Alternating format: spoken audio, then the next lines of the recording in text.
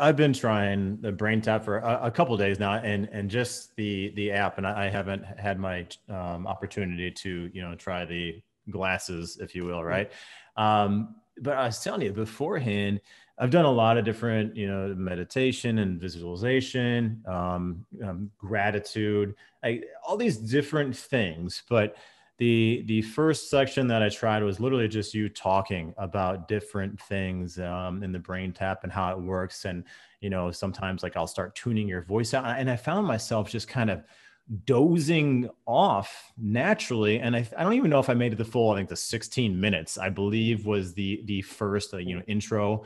And then last night i actually did one of the ones that had more music with it i think was 22 minutes long. And then i i must have like woken up enough to realize to take my headphones out and and put it back in so what what is the brain tap specifically doing when you know that's happening could you explain a little bit about that yeah well, there's something in science called entrainment, and everything in the physical universe is entrained to another. That's why it doesn't fly apart. You know, our, our planet is entrained around our sun as a bigger sphere, and our moon is entrained around our Earth. Well, we have entrainment principles. Our brain, if you and I were to take a spaceship and come to Earth, before we got to Earth, we could measure the frequency of the planet. It would go from 0.05 to 100. Mm-hmm. Well, our brain does the same thing. And our brain does it in such a way that if we're around, because we're biologically linked to our environment uh, and our sun, really, the, the light from the sun. So let's say that you and I go down to the ocean and we're sitting talking. Well, without us even knowing it, our body is going to start to match that big body of water. And that big body of water happens to, happens to be resonating at an attuned frequency of 10 hertz. That happens to be alpha. That's why when people go to the ocean, they go, wow, I love the ocean. This is so great. Well, they love the ocean because the brain, in order to have that experience, has to produce acetylcholine. That's what happens when you're in alpha. So you start to feel like you're in love. It's what happens when you are physically in love. So anything you do in that, your brain basically attaches that chemical response to the ocean. Now, if we go to the mountains, we would be at 7.8 hertz frequency which is happens to be theta. Our body would start to produce GABA. So some people will get tired when they get to the tree line. They go, I, I just can't stay awake because they haven't trained their brain to stay there. But if you were a guru and you wanted to meditate, there's no better place to go than the mountains because you're right there sitting in the middle of a big giant isochronic tone generator. You know, that's basically your body is trying to match this happens with people too. We all know, you know, you get around people who think like you, that act like you, you know, you're a little more relaxed and free. And you right. they actually now know that our gut biome actually communicates with one another. So if, if, people have like when the vegan meets the carnivore, you know, that's why they're having the big problems, right? so, so we have this, uh, so we're more than just this physical nature. In fact, we're we're not even but point zero zero zero zero what one percent solid, and all the rest is information and energy. So when we when we think about what BrainTap does, it's introducing a frequency of not only a frequency like Nogier frequencies, uh, solfeggio frequencies, but also different pulse frequencies to get the brain to change because we want to get the brain to to move out of its fight or flight. Everyone out there I w- I wouldn't say everyone, but 99% of the people, let's say, are in chronic low level stress. This was before any COVID. You know, this is just running around, people doing it, doing it, doing it all day long. And in order to disengage their nervous system, unfortunately, most people go get a beer or a few beers. Some people say, I just need to have a glass of wine. I go, well, do you stop at one? Oh, well, I opened the bottle. You know, so, you know, you, you have this way of thinking. Right. So, and it's really about disengaging. So once we disengage the brain, I tell people it's kind of like the old days of computers. Where if you had a Microsoft computer and something was going wrong, the first thing to do is what? Shut it off, right? You right. reboot it. And that fixes about everything. That's how our sleep cycle works. Hmm. So if we can really get into those deep sleep cycles, that innate intelligence of our body restructures everything, reorganizes, and we wake up in the morning with a superpower. If we don't sleep, it's almost like somebody slipped a little kryptonite in our pocket and we, we can't function during the day. And yeah. so what we're doing is we're basically conditioning the brain to move back to its primal positioning because before all this technology, you know, before all the technology that we have on the planet, actually the last hundred years, we used to sleep 12 hours a day you might have had a stressful event four or five times a week. Now with cell phones and uh, 24 hour news cycles and all these things. We're getting bombarded now. Check this out. Uh, if you have your phone in your bedroom, we've actually done tests where we we can we can actually record cortical responses in the brain the deep resources of the brain that you don't even know they're happening but we know when before you make a decision there's an electrical impulse well we put somebody's phone 20 feet away in another room we put them on uh, the eeg device we're measuring their brain every time they got a text message they didn't even know they were getting a text message consciously their brain was making a response Really? So, so was, was, this the phone going? Was there a noise of the phone or a vibration? so they couldn't hear it. It was a ding or wow. ping. So we did this because we were we kept getting this interference when we were trying to do a sleep program. Yeah. And the problem was the people kept having their phones near their bed. And even that's why we recommend like you got to turn it off or put it on airplane mode where you don't get any notifications because our brain we know and this has to do with our ears. So when you think of the way we hear things, most people think we hear we have like first attention. That's not really true. We have a filtering system. Our brain takes in 25,000 pieces of information every second. So let's say you and I are having dinner at your favorite restaurant. We're sitting around talking, blah, blah, blah, blah. And all of a sudden you hear somebody a few tables over go, is this a fad? Is it, or is this going to last? You know, and it, it, then your brain goes, what? Because we, we know what that is. So our reticular activator points that out. Other than that, all the rest of the noise in the room is just background, but we're still processing it. That's why some people don't like going to the malls at Christmas, you know, when it's just so crazy. Yeah. Because their body can't process all that information and filter out what they really need to learn. So what, what we've done is we've figured out what causes the brain to be entrained. Our brain loves patterns. So if we can give it the right pattern and change that up, when you're talking about neuroplasticity, mm-hmm. Um, maybe we can talk a little bit more about this if you'd like, but we have a, a study that we just did. It was a pilot study that's now going, Seminole College is now helping us put together 100 people to do this in Florida. The, the pilot study showed a 49% neuroplastic change in women 55, 65 in just six weeks. Now that's unheard of. These were, these were all women that were diagnosed by their doctor as having onset dementia. Mm-hmm. When we sent them back in six weeks, the doctor said, I wish you'd have showed up like this six weeks ago because I wouldn't have done it. We, we had them tested with the Cambridge Science Scoring, which is a, an online quiz you have to take. It tells you if you have dementia or not. Yeah. They all had it before. They didn't have it six weeks later.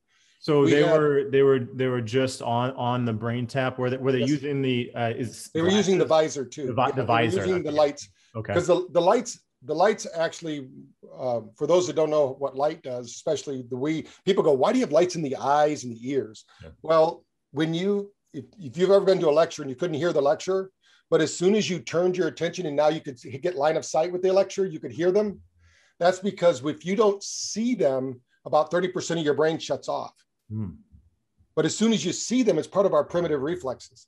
So also when you engage light in the brain with the eyes, you actually the whole brain has to activate to process that information even if it doesn't have any information to carry on that frequency but what we're going to carry is all the new stuff that they want to do so then the lights through the ears all the hemoglobin think of your body like a solar panel you're walking around all day long you're absorbing light light frequencies if we don't get that there's a disorder called seasonal affective disorder right sad yeah now, the, the, the deal is, though, every cell of your body has something called chromophores in it, which is like little mini batteries. And it stores the energy from the sun or from light sources or from sound. Um, all that energy is built up. If we have enough, then we produce ATP. we have all this energy that we need to do. Mm-hmm. Well, if we don't have the, if we don't have ATP, we're not going to process even the most powerful nutrients because we can't break them down and use them as energy. So what we want to do is the brain, which is you know the central processor of the body, if it doesn't have energy, it can't do its job.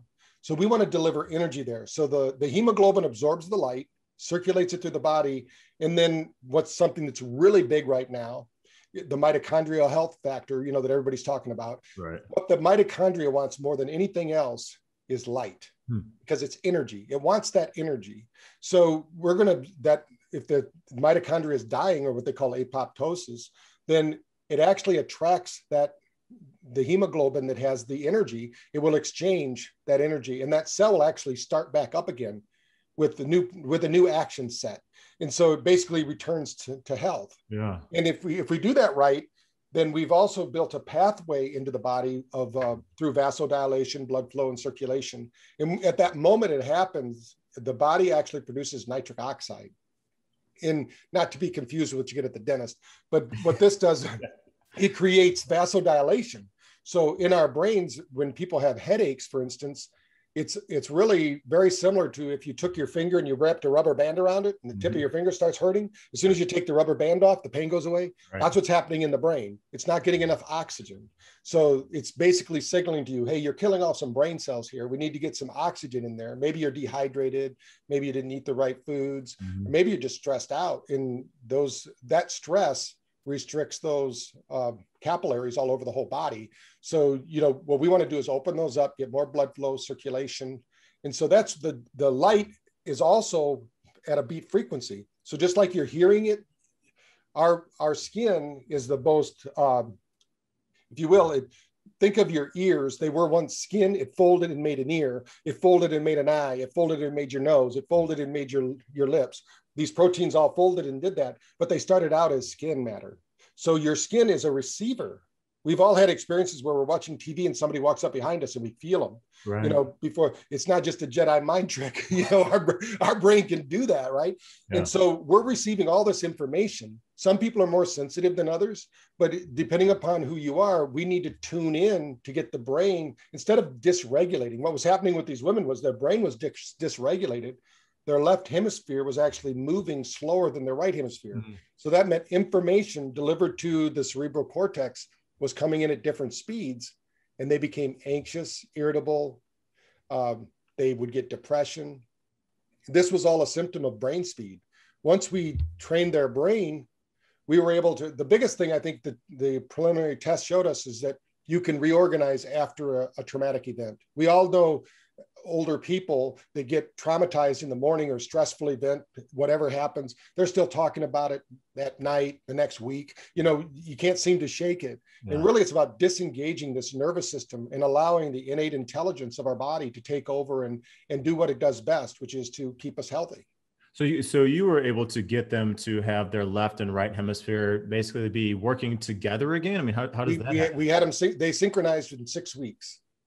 Wow. And then as long as they do a brain tap session um, three times a week, every 72 hours, it will maintain that because our nervous system tries to reset every 72 hours. That's why like weightlifters just found that out um, without knowing it. You know, you lift weights every other day yeah. because our body gets stressed out It needs time to recover. Stress it out, needs time to recover. Our brain, we can do up to three sessions of brain tap a day. And that's exactly what we did with these people mm-hmm. because we have sessions in the morning if you look on the app when you're looking at there's ones for wake up yeah well if you have to use a chemical to wake up which means coffee or tea or stimulant then your body's not regulating correctly and your body's always looking for ways to circumvent having to do anything the, if you do it for it if you like for instance if you drink coffee every morning first thing in the morning then your body's going to say okay we don't have to we don't have to excite these brain waves right but there's a brain wave called smr sensory motor rhythm and as we get, you know, better looking and more intelligent with age, certain things happen to our brain, right? Yeah. And people think balance has to do with exercise. We proved that wrong. Hmm. Balance has to do with brain waves. If you don't have SMR brain waves, you will not have balance. Somebody who has super balance, I'm going to show you somebody who has super SMR brain waves. Like when we work with our Olympians or pro athletes, they are just maxed out and they can go there and get into that flow state and they have it. And people that are losing their balance and, and can't, you know, basically move and think, you know, that's what separates us from most other animals. We can move and think instead of just reacting, but that takes a lot of brain power. You know, like basketball, for instance, is high level physics. You know, they're just doing it naturally. Right. Yeah, so I mean, there there's a skill component to that, right? So naturally, the brain has to work and help the proprioception. So like chicken or the egg type thing. Like if you're doing that, your brain is naturally gonna be more active, correct?